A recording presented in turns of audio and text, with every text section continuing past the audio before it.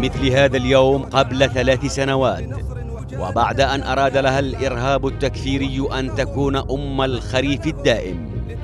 انتخى العراقيون ولبوا النداء وهبوا خفافا وأضافوا إليها ربيعا ثالثا هو ربيع النصر الدائم.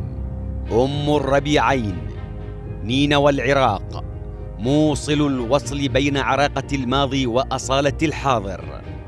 الحدباء التي تقعر أعداؤها أمام عظمتها على مر العصور. وعلى حين غرة استطاع داعش الإرهابي أن يجد له ثغرة نفذ منها كالشيطان فاحتلها.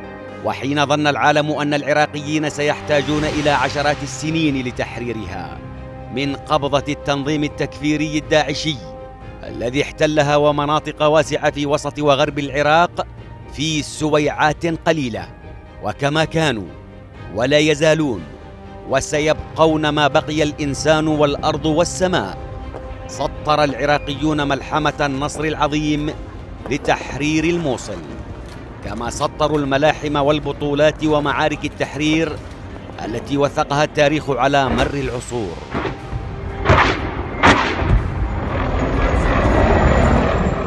الدمار سيزول. وسيصبح من الماضي والإعمار سيناطح السماء والشهداء في عليين عند خالقهم. كل شيء سيعود أفضل من ذي قبل. طالما وجباه العراقيين مرفوعة وقاماتهم لا تنحني إلا لخالقها. أما الخزي والعار والخذلان فمؤكد سيلازم كل من يريد بالعراق والعراقيين السوء